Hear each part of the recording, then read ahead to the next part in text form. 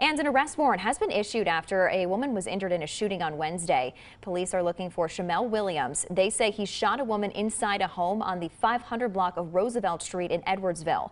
The bullet also struck a wall in the immediate area of two children. Williams was identified as the shooter and faces several charges.